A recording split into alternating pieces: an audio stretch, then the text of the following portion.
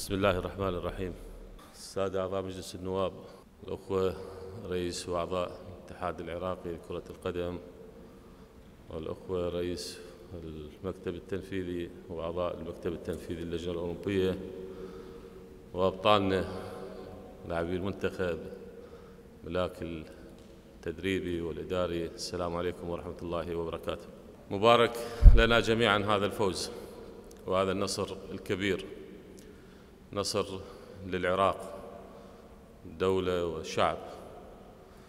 وهذا تحقق بفضل جهودكم اللي أثبتوا فيها أنكم أهل للمسؤولية. هذا انتصار كبير للعراق وتأكيد على الانتصارات التي تتحقق في كل المجالات ولله الحمد.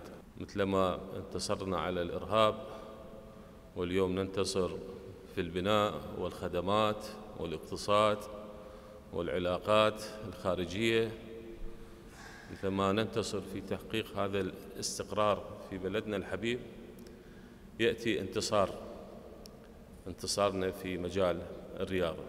تمكنتم كما تمكنت المنتخبات العراقية في الآونة الأخيرة من توحيد وجمع كل العراقيين. الكل وقف يشجع ويدافع عن المنتخب وعن هذه المسيرة اللي امتدت طيلة أشهر. إحنا سبق وأن اجتمعنا وهنلاكم بالفوز بغرب آسيا في بغداد. وكنا نتحدث عن الاستعدادات لهذه البطولة. والحمد لله مع هذا الصبر والإصرار والتحدي والجهد توصلنا إلى تحقيق الفوز والتأهل إلى أولمبياد باريس للمرة السادسة. هذا منجز كبير يؤكد أن كرة القدم العراقية عادته بقوة. ومن نتحدث نتحدث عن إنجازات ما نتحدث عن فراغ. وهنا لابد أن أثمن الدور الكبير لرئيس وأعضاء الاتحاد على نجاحهم في إدارة هذا المشهد الرياضي لكرة القدم طيلة الفترة الماضية. اليوم اخواني الأعزاء أبنائنا أنتم ما تمثلون يعني اللاعب يمثل نفسه. أنت من تنزل للمستطيل الأخضر تمثل العراق كله. مثل ما رئيس الوزراء أو الوزير أو النائب يطلع في خارج العراق في مسؤولية أو حدث رسمي يمثل العراق أنت تمثل العراق في المستطيل الأخضر. والكل كل أبناء الشعب العراقي هم يقفون خلف هذا التمثيل وهذا الحضور. الذي نأمل أن يكون دائما حضور ناجح ومتألق يثبت علو كعب الرياضة العراقية وعودتها بقوة. حكومة نظرتها للرياضة مو نظرة ترفيه أو كمالية ابدا. ذكرنا في أكثر من مناسبة أنه دعمنا بالتأكيد هو لا منا ولا فضل هو واجب تجاه قطاع مهم. الرياضة مو ممارسة هوايات اليوم. اليوم أصبحت مصلحة سياسية مصلحة اقتصادية اجتماعية أمنية. جزء من كيان الدولة ووجودها. فحكومتكم إخوانكم في مجلس النواب أيضا ينظرون للرياضة من هذا المعيار.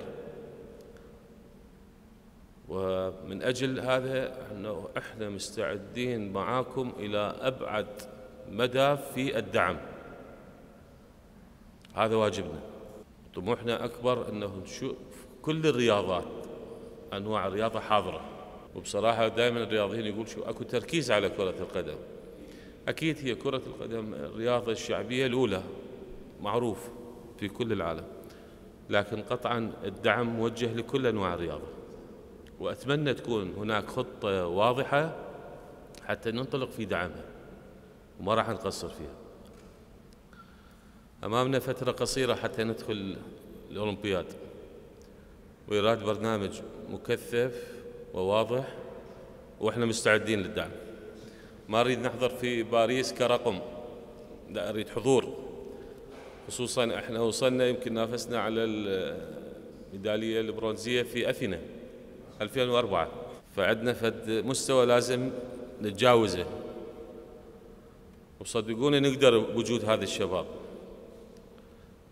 عندنا لاعبين ما شاء الله مشاريع واعدة للاعبين كبار على مستوى المنتخب والمنطقة وآسيا. شفنا الرجولة والحرفية والإمكانية والإصرار. فإذا عندنا إمكانية عندنا قدرة يراد لنا خطة يراد لنا إعداد. حتى ننطلق إن شاء الله ونحقق الفوز. كل شعبكم آه، ينتظر لهذه المشاركة. إحنا ما راح نمثل فقط العراق راح نمثل آسيا يعني البلد العربي الوحيد في آسيا. الآن المسؤولية كبيرة وإن شاء الله أنتم قدها وأكد دعم إخوانكم أخواتكم في مجلس الوزراء. وأيضا أتحدث نيابة عن اللجنة النيابية والأخوة السيدات السادة أعضاء مجلس النواب. دعم مطلق لكل الرياضة العراقية وخصوصا منتخباتنا ومنتخبنا الأولمبي في استحقاقه القادم إن شاء الله في باريس. استنادا للقانون آه، مكافأة المنتخب آه، سوف تكون قطعة أرض سكنية. ومنحة شهرية ثابتة 400 ألف وأيضا من مجلس الوزراء مكافأة مالية 10 مليون دينار لكل أعضاء الفريق. هذا شيء بسيط. إحنا قلنا عليكم البطولات والإنجازات وعلينا الدعم وإحنا مستمرين بالدعم. الله يبارك فيكم وإن شاء الله نلتقيكم وأنتم ترجعون من باريس. نحقق نتيجة طيبة تليق بتاريخكم وإمكانياتكم.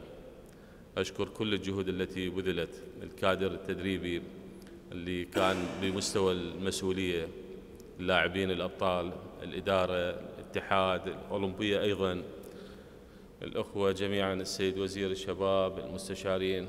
كنا فريق واحد نعمل سوية من أجل الوصول إلى هذه اللحظة اللي نحقق فيها الفوز ونرسم البسمة والفرحة بين وجوه أبناء شعبنا. كل التقدير واحترامكم